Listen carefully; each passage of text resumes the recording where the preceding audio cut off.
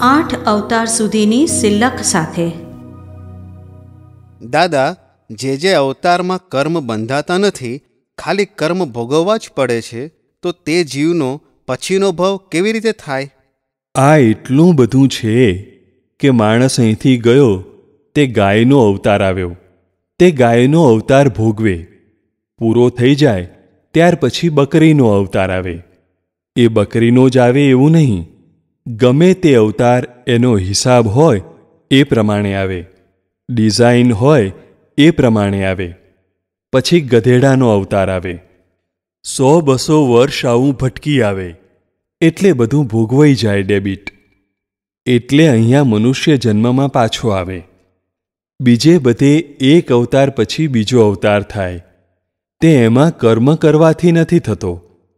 એ કર્મ ભોગવાઈ ગયા તેથી થાય છે. એક આ પડ ગયું ને બીજું પડ આવ્યું. બીજું પડ ગયું ને ત્રીજું પડ આવ્યું. એવું બધા પડ ભોગવાઈ જાય એટલે બધા આઠ અવતાર પૂરા થાય ને અહીં મનુષ્યમાં આવતો રહે. વધુમાં વધુ આઠ અવતાર બીજી ગતિમાં ભટકીને પાછો મનુષ્યમાં આવી જ જાય. એવો કર્મનો નિયમ છે. મનુષ્યોને લાયકનું કર્મ તો એની પાસે સિલ્લક રહે છે જ. જ્યાં જાય, દેવગતિમાં જાય તોય, એટલે સિલ્લકના આધારે પાછો ફરે છે. એટલે આ સિલ્લક રાખીને બીજા બધા કર્મ ભોગવાઈ જાય છે. દાદા, મનુષ્યમાં આવે છે, પછી એનું જીવન કઈ રીતે ચાલે? એ એના ભાવ પર જ ચાલે ને? એના કયા કર્મના આધારે એનું જીવન ચાલે? એની પાસે મનુષ્યના કર્મ તો સિલ્લકમાં છે જ આ તો. આ સિલ્લક તો આપણી પાસે છે જ. પણ દેવું થઈ ગયું હોય તો દેવું ભોગવી આવો, ને પછી પાછા આવો કહે છે. ક્રેડિટ થઈ ગઈ હોય ત્યારે ક્રેડિટ ભોગવી પાછા અહીં આવો. આ તો સિલ્લક છે જ આપણી પાસે. આ સિલ્લક તો ખૂટે એવી નથી. આ સિલ્લક ક્યારે ખૂટે? કે જ્યારે કર્તા પદ છૂટે ત્યારે છૂટે. ત્યારે મોક્ષે ચાલ્યો જાય. નહીં તો કર્તાપદ છૂટે જ નહીં ને. અહંકાર ખલાસ થાય એટલે છૂટે. અહંકાર હોય એટલે પેલા ભોગવીને પાછો અહીંને અહીં મૂવો હોય. દાદા, બીજી બધી યોનિઓમાંથી પાછો મનુષ્યમાં આવે. તો આવે તો ક્યાં આગળ જન્મ લે? માછીમારમાં લે કે રાજામાં લે? અહીં મનુષ્યમાં એની પાસે જે સામાન તૈયાર મૂકી ગયો છે ને, તે બીજું આ દેવું ઊભું થયું છે. તે દેવું વાળી આવે અને પછી ત્યાંનો ત્યાં જ આવે અને એ સામાનમાં પાછું ચાલુ કરે. એટલે આપણે જે બજારમાં જઈએ છીએ, તે બધા કામ પતાવીને પાછા ઘેરના ઘેર આવીએ છીએ. એવી રીતે આ ઘર છે. અહીંનું અહીં પાછું આવવાનું. અહીં આ ઘર છે. અહીં જ્યારે અહંકાર ખલાસ થઈ જશે, ત્યારે અહીં પણ નહીં રહેવાનું. મોક્ષમાં જતું રહેવાનું. બસ. હવે બીજા અવતારમાં અહંકાર વપરાતો નથી. જ્યાં ભોગવવાનું છે, ત્યાં અહંકાર વપરાતો નથી. એટલે કર્મ જ બંધાતા નથી.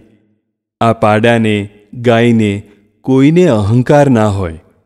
દેખાય ખરો કે આ ઘોડો અહંકારી છે, પણ એ ડિસ્ચાર્જ અહંકાર.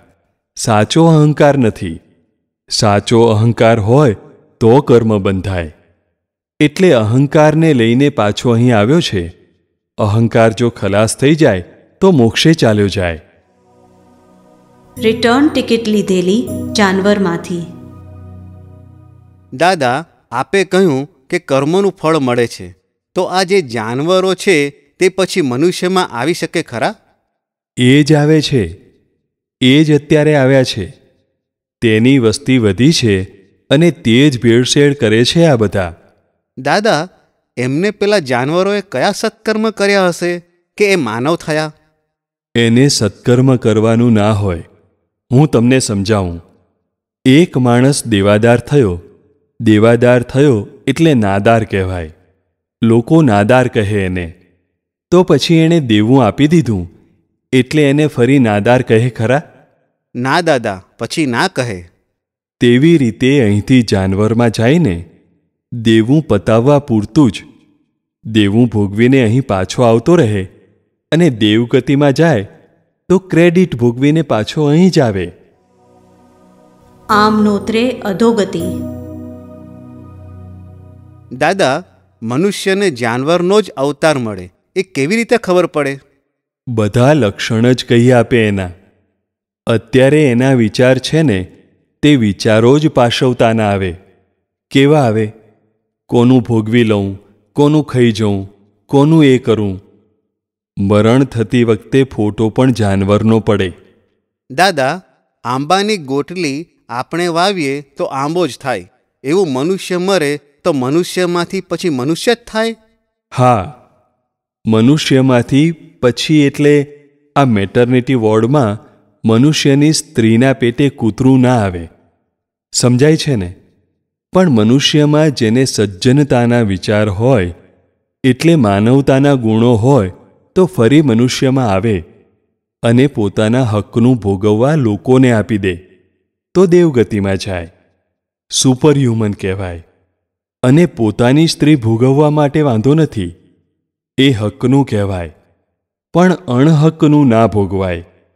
એ ભોગવવાના વિચાર છે એ જ મનુષ્યમાંથી બીજે ભવે જાનવરમાં જવાની નિશાની છે એની. એ વિઝા છે.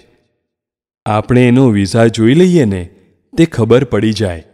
દાદા કર્મનો સિદ્ધાંત એવો છે કે મનુષ્યને એના કર્મો મનુષ્ય યોનિમાં જ ભોગવવા પડે છે. ના કર્મો તો અહીં ને અહીં જ ભોગવવાના. પણ જે વિચારો કરેલા હોય કે કોનું ભોગવી લઉં, ને કોનું લઈ લઉં, ને કોનું એ કરી લઉં. એવા સંકલ્પ વિકલ્પ કર્યા હોય, તે એને લઈ જાય ત્યાં. પેલા તો અહીં ને અહીં જ ભોગવી લે.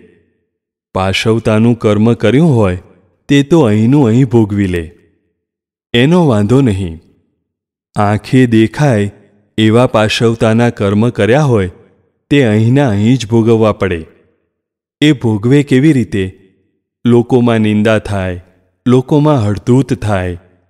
પણ જે પાશવતાના વિચારો કર્યા, સંકલ્પ વિકલ્પ ખરાબ કર્યા કે આમ કરવું જોઈએ, આમ કરવું જોઈએ, આમ ભોગવવું જોઈએ, યોજનાઓ કરી. એ યોજના એને જાનવર ગતિમાં લઈ જાય. યોજના ઘડે છે ને મહી? નથી ઘડતા? એ જાનવર ગતિમાં લઈ જાય. આમાં ભોગવનારો કોણ? દાદા, સારા કર્મ કરે તો પુણ્ય બંધાય અને ખોટા કર્મ કરે તો પાપ. આ પાપ પુણ્ય કોણ ભોગવે? શરીર કે આત્મા? આ પાપ પુણ્ય જે કરે છે, એ ભોગવે છે. કોણ ભોગવે છે? અહંકાર કરે છે ને અહંકાર ભોગવે છે. શરીર ભોગવતું નથી ને આત્માએ ભોગવતો નથી. એ અહંકાર ભોગવે છે. શરીર સાથેનો અહંકાર હોય તો શરીર સાથે ભોગવે. શરીર વગરનો અહંકાર શરીર વગર ભોગવે. માનસિક ખાલી ભોગવે. દાદા મૃત્યુ પછી સ્વર્ગ કે નર્ક જેવું છે ખરું? મૃત્યુ પછી સ્વર્ગ ને નર્ક બંનેય છે. દાદા એટલે ખરાબ કર્મ કર્યા હોય તો નર્કમાં કોણ જાય? આત્મા જાય?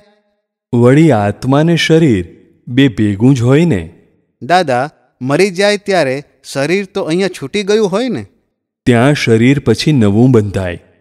નર્કનું શરીર જુદું બંધાય. ત્યાં પારા જેવું શરીર હોય.